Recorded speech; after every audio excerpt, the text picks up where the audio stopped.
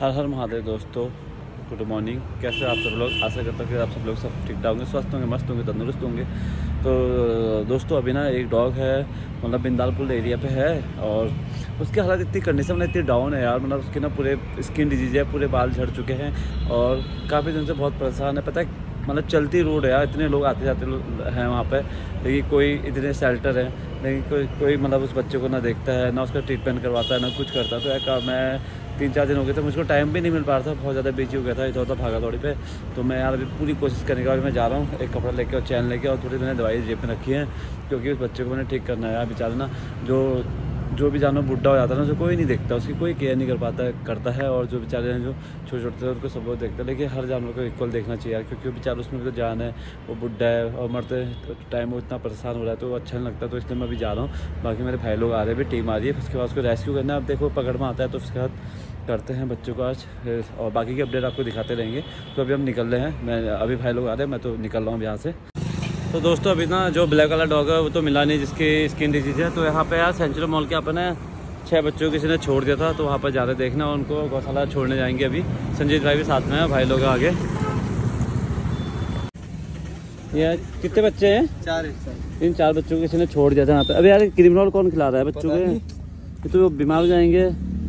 कितने छोटे छोटे पपी हैं इनको कोई छोड़ के चले गया। अच्छा तो। कितने प्यारे प्यारे बच्चे देखो।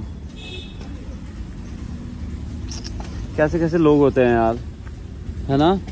बिल्कुल भी नहीं आया बता इतने प्यारे बच्चे यार।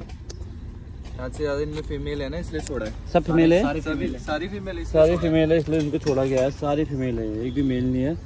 देखो यार अबे यार पूरा यार क्या बोला। तो अभी देखते हैं बच्चों को गौशाला ले जाते हैं। गौशाला में आज लेके वही रखेंगे। फिर देखेंगे फिर अडोप्शन कैंप लगा के अडोप्शन करवाएँगे सारे बच्चों का।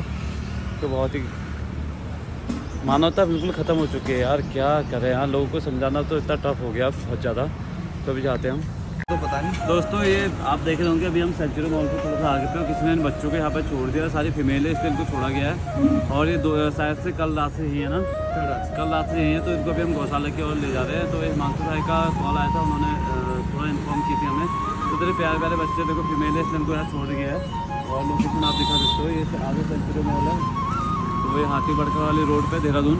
और यहाँ इतने प्यारे बच्चों को छोड़ दिया है बिल्कुल मानवता नहीं है लोगों पे। तो अभी हम बच्चों को लेके गौशाला जा रहे हैं तो उस टाइम गौशाला रखेंगे। फिर इन बच्चों के लिए अडोप्शन कैंप लगाएँगे और इनका एडॉप्ट कराएँगे। कितने प्यारे, पूरे ब्लैक अच्छे अच्छे बच्चे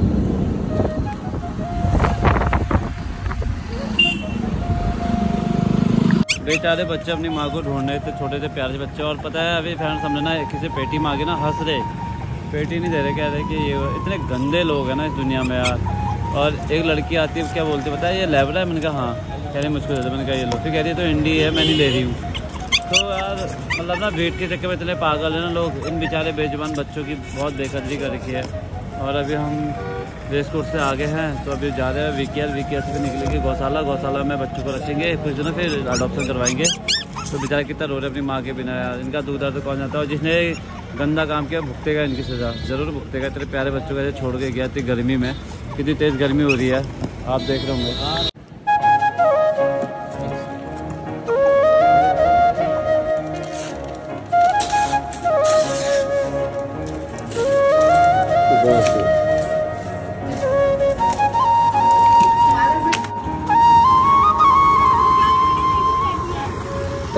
तो बच्चों को अभी गौशाला भेज दिया है इंदू मैम के साथ और अभी मैं निकल रहा हूँ आगे क्योंकि वो वाला डॉग देखना है, जो डॉग की हालत गंभीर है। बाकी बच्चों की अपडेट आते रहेगी आप सबके पास। और वो इंदू मैडम लोग लेके गए हैं बच्चों को वी केयर से। अब मैं यहाँ से निकल रहा हूँ। आगे कहा, बच्चों को देखने वाले। जिसकी स्किन डिज़ीज़ हो रही है। तो दोस्तों, अभी मैं जस्ट रूम पर पहुँच रहा हूँ और क्या कहते हैं डॉक्टर मिला नहीं क्योंकि ना अभी बहुत ज़्यादा गर्मी भी हो रही है। इस चक्कर पर ना धूप के कारण नहीं आ रहा है। तो अभी शाम को जाऊँगा, शाम को देखूँगा, क्योंकि मेरे जो टीम के फ्रेंड लोग हैं, वो भी चले गए, जो वॉल्टियर हैं। और बच्चों को मैंने इंदू मैम के साथ भेज दिया था गौशाला रोहित भाई और इंदू मैम के साथ। तो अभी मैं अभी रूम पर पहुँचा हूँ बच्चे मेरे घूम रहे हैं। देखो टिम टिम भी घूरी है। और हमारा सिम्बा टॉयलेट कर रहा है? जब वहाँ बैठा है, और झिमझिम बिल्कुल धूप सेक रही अच्छे से। झिमझिम को ठंडा लग रहा है तो बस अभी कुछ खाता है, कुछ खाया भी नहीं, बहुत ज़्यादा गर्मी हो गई थी। और टेम्परेचर इतना ज़्यादा चल रहा है ना आजकल तो इसलिए अब फटाफट खाना खाता हूँ, उसके बाद थोड़ा सा रेस्ट करके फिर जाऊँगा शाम को बच्चे को देखने। बाकी आज देखो ना, इंसानियत भी नहीं है लोगों पर उतने छोटे छोटे पपी, अभी कितने एक महीने के भी नहीं हो रहे हैं मतलब एक महीने तो हो गया, उनको किस हालत में छोड़ रखा था वहाँ पर यार, बहुत ही बुरी कंडीशन थी, बेचारे भूखे थे, बहुत भूखे थे तो उनको भी खाना खिला दिया होगा गौशाला पे, बाकी गौशाला पे रखा उनका अडॉप्शन करवाएँगे बच्चों का जल्दी से, और बाकी अपडेट हम आपको लगातार देते रहेंगे। गौशाला यहाँ बच्चों को रखवाया था, कभी देखते कहा बच्चे। यहाँ पे हमारे छोटे से बच्चे, यहाँ पे सारी एक्सीडेंटल हैं जितनी भी है सारी, रोड की, जो भी रहती है ना, वो है और बच्चों को देखने जा रहा हूँ, कहाँ रखे हैं। हेलो जी तो ये है कल वाले बच्चे हमारे बेचारे सोए हैं अभी गायों के साथ सोए बच्चे ना इनका है अडॉप्शन करवाना है, बच्चों का फटाफट जल्दी से जल्दी। हाँ। मुन्ने मेरा मुन्ना।